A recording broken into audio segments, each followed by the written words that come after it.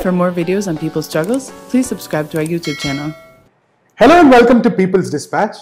This is part of our May Day series on the issues faced by workers around the world. We are going to be talking to trade union representatives from various countries uh, on how workers are faring, especially in the context of the COVID 19 pandemic.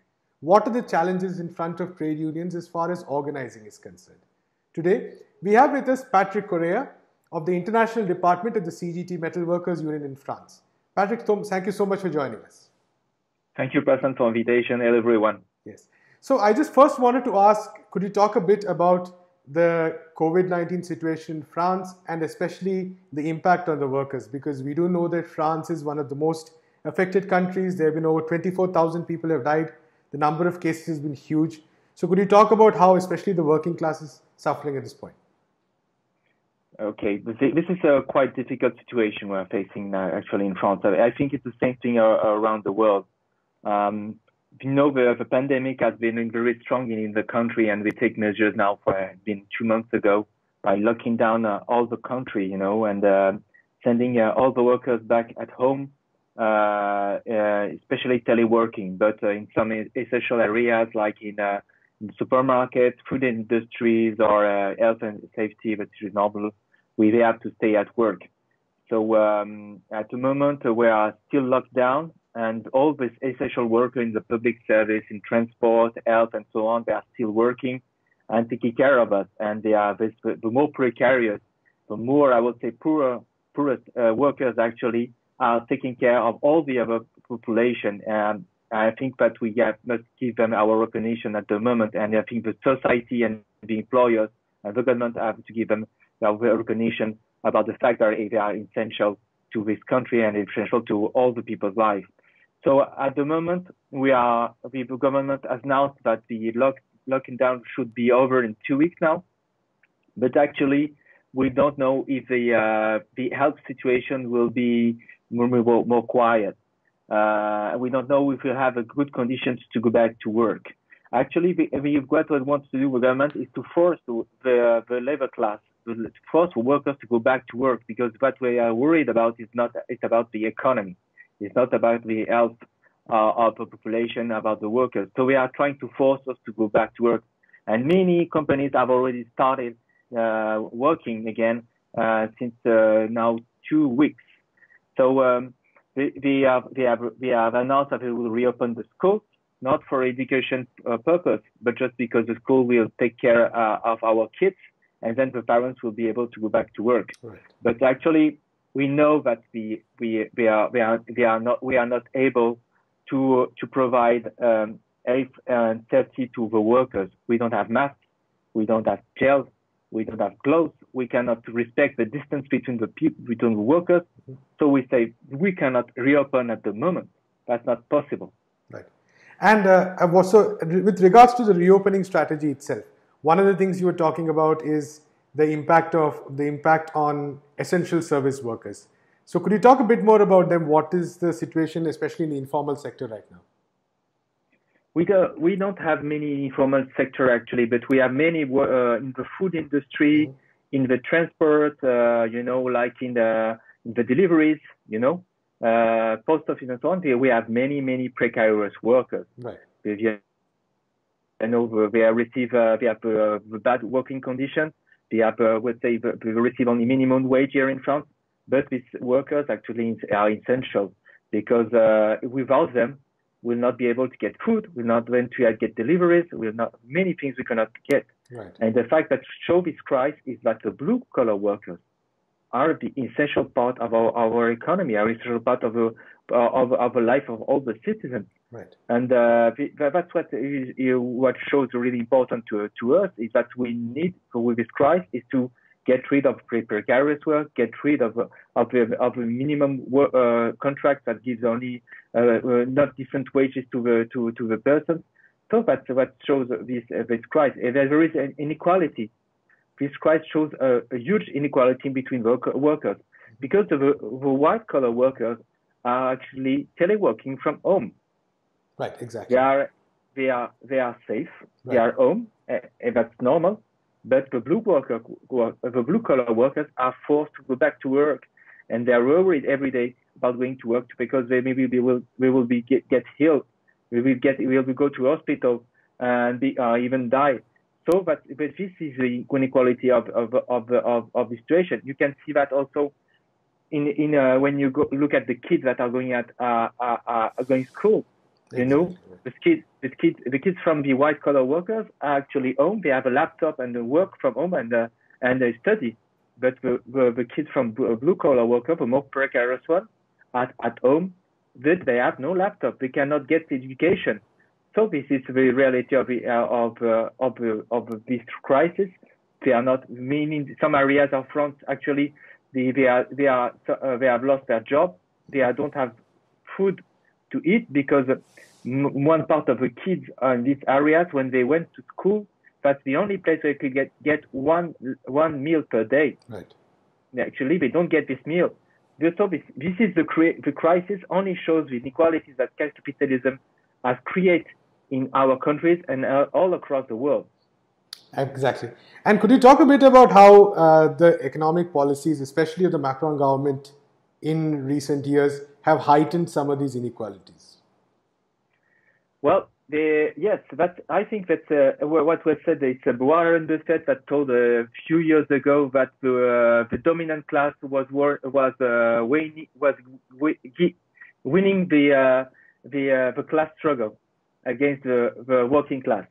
And I think it's uh, Macron is is is, at the end of actually of capitalism at the uh, in this policy. Mm-hmm. What he has been only doing is try to increase the inequalities, only the money going back in the, going back in the uh, in the pocket of the uh, of a more rich of a of a more uh, of a rich uh, rich persons of this country and around the world. What he has been doing is only taking money from the uh, from the workers to get them to get it to the capital. You know, when he he he he, he uh, he's trying to um, to to, uh, sorry, when he was trying to cut the pensions, exactly. is not for to get a system more, I would say, sustainable.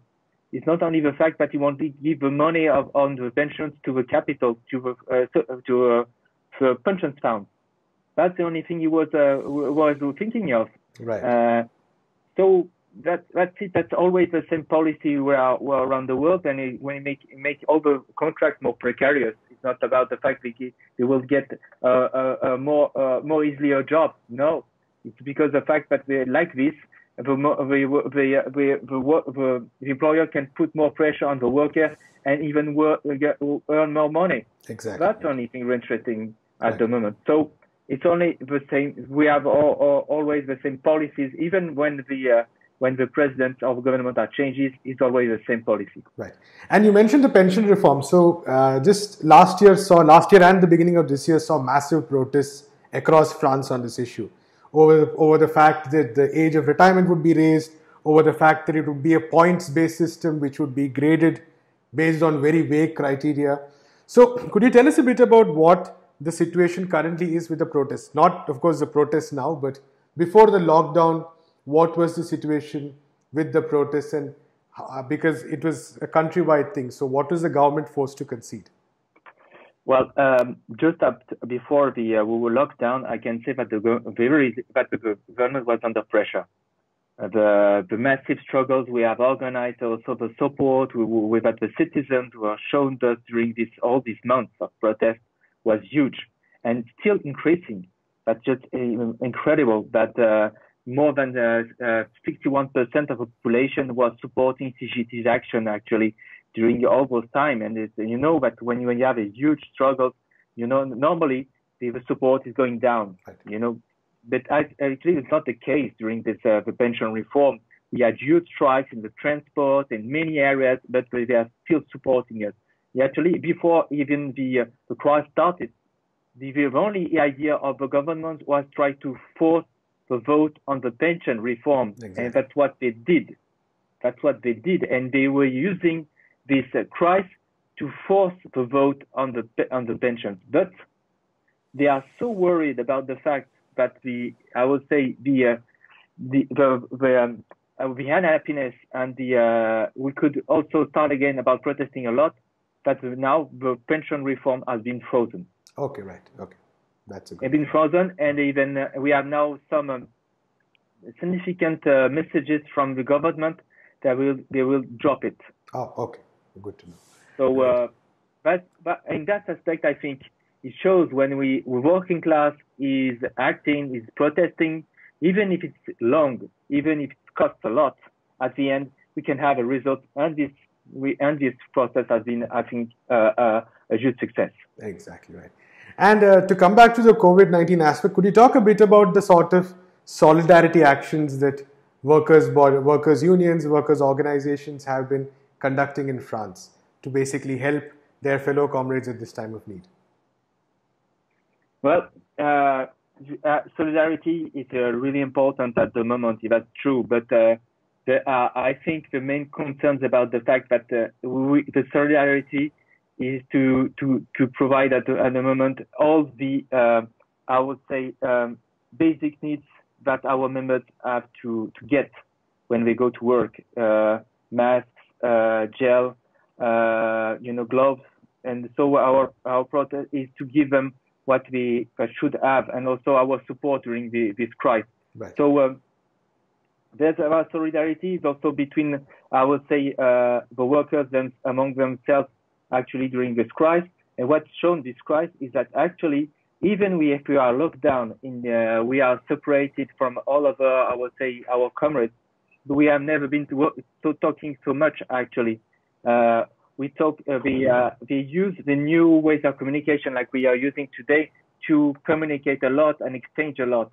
So, uh, and we have never been such a good, I would say, communication and uh, exchange of information uh, between uh, among our workers actually. And this is between even between uh, workers that have never talked to each other from different companies, from different sectors. That, that's the kind of solidarity we act in actually. We have a solidarity we show is also about the protect the, the, the migrants that have come to, to France. We are trying to get, I would say, uh, measures to protect them. Uh, they are, because they are lost in this situation. Right. We are trying to protect the, the persons that are actually in the streets with uh, we are uh, confronting the COVID-19. We are trying to provide food in some areas where they don't get food because they are they have no money or not access to to supermarket. We're trying to do everything we can at the local level to to help them at the national level to organize what should be the role of state to, to fulfill the basic needs of all the citizens and population of this country. Right. And finally, it's a larger question. So, one of the key challenges, both right now and in the coming months, for trade unions will be on organizing itself. So, uh, you know, how do you organize at a time when people are maybe a bit more scared to come out in rallies and big processions and marches? Uh, how do you do meetings? So, what are the kind of ideas that uh, you in the CGT have been thinking about regarding how to engage workers both right now and in the immediate months? Well, um, actually, we're talking about May Day. May Day is an important day for all the working class around the world, and uh, especially in France. It's a really important day for us as unions. We do the first time ever that we are not be able to rally exactly. in the streets of Paris. So uh, that is, uh, we have no, we are in, in the history. That's the first time ever. So um, you see, this is just crazy. So we have to find new ways of, of protesting, acting, and uh, we saw we have been very very active in the uh, by, by the communication networks.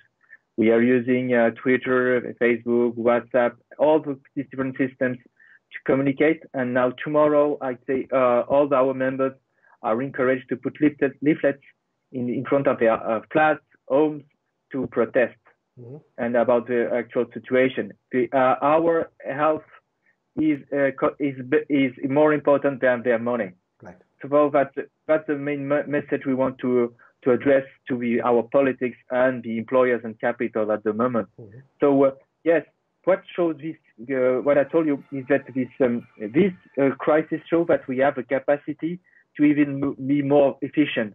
We have tools, but we are not using them. We have not been using them properly, and now we are using them and we can see we can be even more efficient than capital itself when you're using them correctly. Right. So I'm, I'm, I'm looking I'm looking after the international issues in uh, in Metal Workers uh, Federation.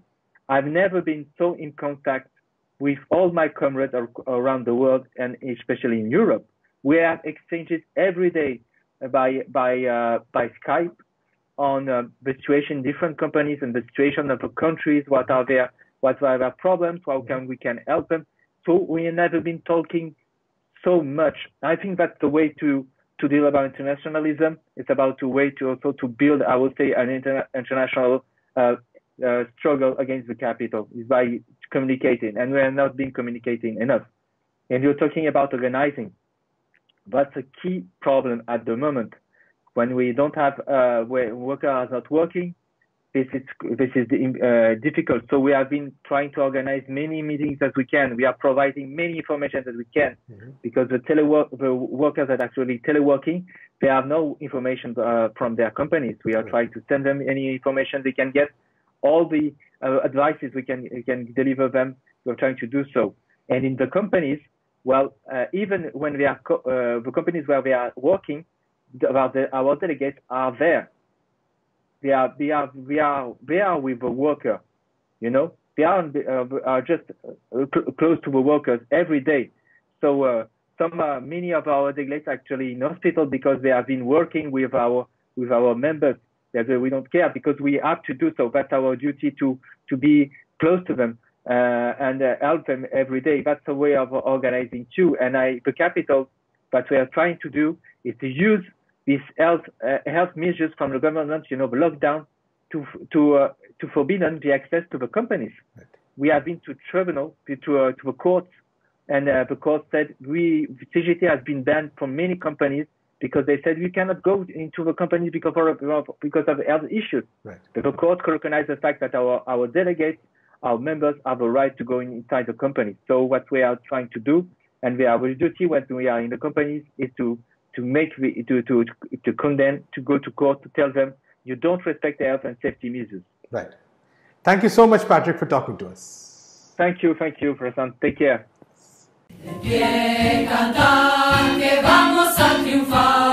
Avanza, banderas de unidad, y tú